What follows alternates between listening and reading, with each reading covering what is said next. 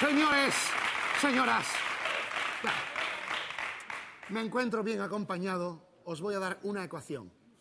Valerí, pizarra, voy a hablar de las corridas. ¿Pero cuándo, Valerí? Valerí, ¿cuándo?